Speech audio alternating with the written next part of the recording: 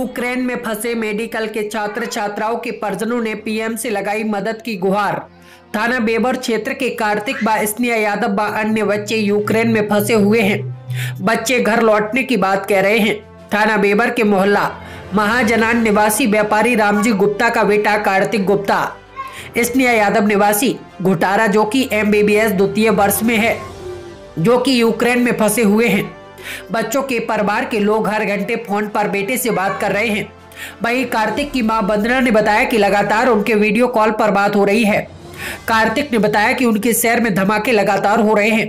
फ़िलहाल वह अन्य छात्रों के साथ बंगर में ही सुरक्षित हैं। रविवार को कार्तिक के घर पहुँचे चेयरमैन सरितकांत भाटिया ने परिवार से मिलकर जल्द कार्तिक की घर वापसी की बात कही है। स्नेहा यादव के परिजनों ने पीएम मोदी से मदद की गुहार लगाई है। स्नेहा के परिजन लगातार भारतीय दूतावास के संपर्क में हैं।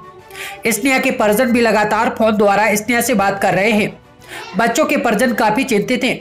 यूक्रेन में फंसे भारतीय लोगों के लिए भारतीय दूतावास की सहायता के लिए इंडिया इन यूक्रेन नाम का ट्विटर हैंडल भी मुहैया कराया गया है। स्नेहा व कार्तिक के परिजनों ने मीडिया से बात करते हुए क्या कुछ बताया है? सुनिए। कल मेरी तो बात दादी की बात तो ग्यारह बजे हुई आप दादी हैं? दादी है।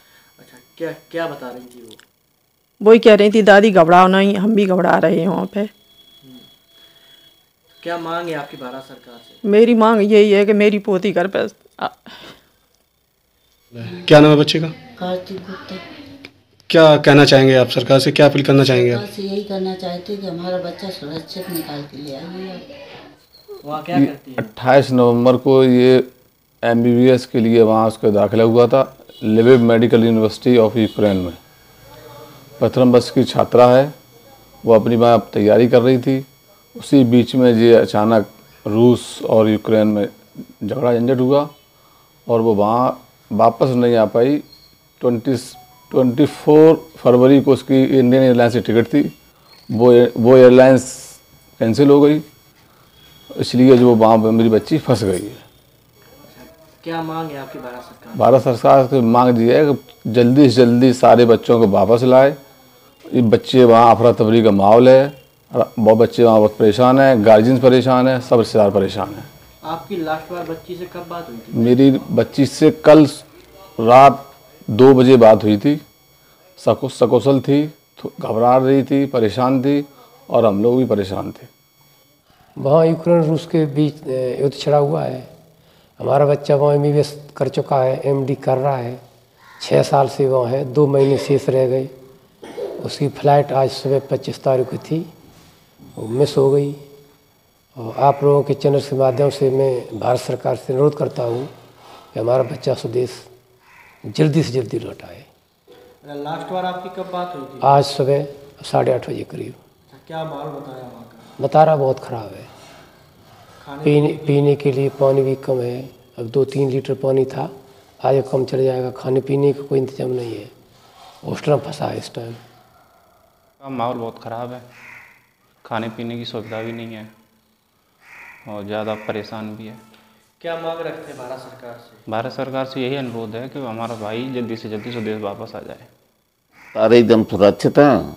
अब चूँकि इंडिया गवर्नमेंट की थोड़ी सी गलती रही एडवाइजरी डेट जारी की इन्होंने। और मेरा अनुरोध है इंडिया गवर्नमेंट से शीघ्र से शीघ्र ये वहाँ व्यवस्था करें।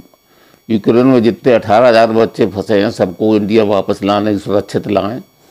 और मैं आभारी रहूँगा इंडिया गवर्नमेंट का अगर जल्दी से जल्दी इन्हें बुला लें बच्चों को।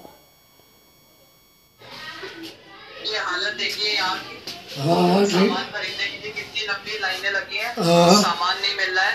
हाँ हाँ। ये बाहर की हालत है। अच्छा अच्छा। तो तुम सरकार से क्या चाहते सरकार से क्या चाहते हो तुम?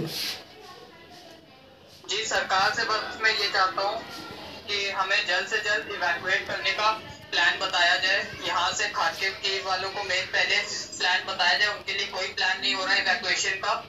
वो प्लान बताया जाए, हमें जल्द से जल्द इवैक्यूएट किया जाए। बहुत दिक्कत हो रही है, इधर बहुत ठंड है, हर जगह बर्फ़ हो रखी है बंकर ठंडे हो रखे हैं। लोग मेट्रो से में हैं जो कि बहुत ठंडा है माइनस तीन डिग्री है यहाँ का टेम्परेचर अच्छा अच्छा ठीक है। खाने का बहुत थोड़ा अपना मोबाइल घुमा देना मांग के दिखा खाने खाने के बारे में? खाने के बारे में क्या पूछ रहे हैं? मार्केट अंदर है यहाँ मार्केट में जाने के लिए लाइन देखिए यहाँ से लगी है पूरा पीछे तक इतनी दूर लाइन लगी है। खाने की क्या पूछे है? खाने में क्या हो रहा है? कैसे चल रहा है? खाने में ये है कि सामान लेने आए हैं तो इतनी लंबी लाइन है सामान लेने के लिए अब ये भी नहीं पता सबको कि मिल पाएगा कि तब तक खत्म हो जाएगा सामान। अच्छा। और मैस वाले दे रहे हैं लेकिन बहुत कम दे रहे हैं मैस वाले तो इसलिए दिक्कत तो हो ही रही है अब। ठीक है। पड़ेगा। ठीक है ठीक है यहाँ की मीडिया लगी हुई है और सरकार से ये लोग कहेंगे और तुम्हें जल्द से जल्द बुलवाया जाएगा ठीक है?